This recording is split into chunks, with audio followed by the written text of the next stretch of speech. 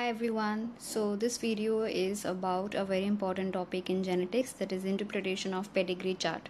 So this is a very frequently asked questions in the TAS exam, especially in the TAS exam. If you look through the recalls or any sample paper, you will find at least one question asking they'll put up a pedigree chart and they'll ask you to interpret the pattern of inheritance okay that uh, that is whether it's autosomal dominant or recessive or x-linked dominant or recessive so there are certain rules that you need to follow if you uh, you know if you want to uh, interpret it well. So i have written those. Let's uh, let's let's check them out. Okay. At first I have to count the number of male and females affected. If both male and females are affected then it is autosomal. Okay Second one, look at all the generations if there is any skipping of generations, if not dominant. So we'll see that if all the generations are affected, if all the generations are affected or more than two or three generations are affected, that means it's most likely to be dominant. If you know only one generation is affected, no parents, no uh, grandparents, only a child is affected, it's likely to be recessive. Now, once in a blue moon affected, it, that is autosomal recessive. Now, why is it called once in a blue moon uh, affected? Because uh, individuals with autosomal recessive, they usually suffer from infertility or uh, they die very early. So that is the reason they are not able to transmit the disease to the next generation. So usually you will find that nobody in the entire family tree is affected except for one child. So that is once in a blue moon autosomal recessive.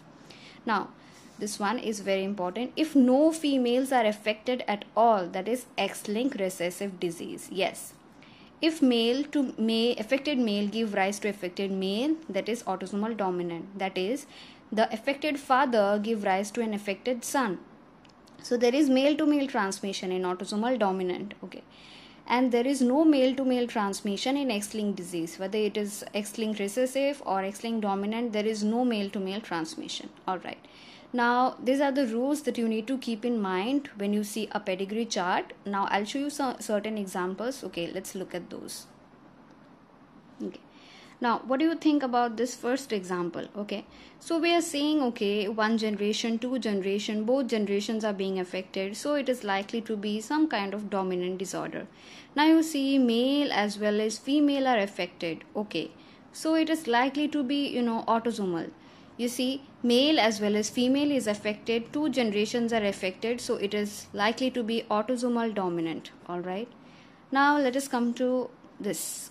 Example number 2 you can see that first all generations are not affected two generations are affected. All right. Okay.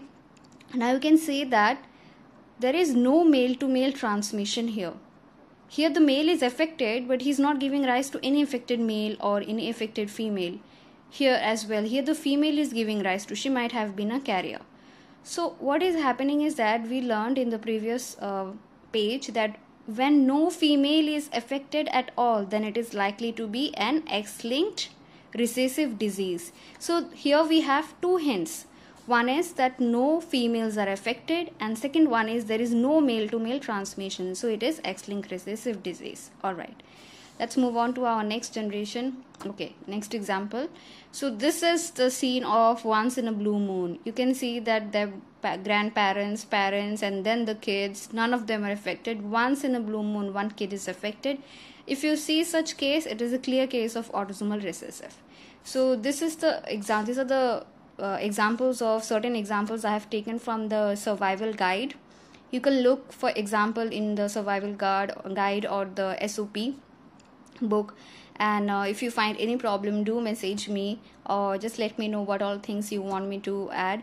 And i found this topic to be very important and very frequently asked so i wanted to add this.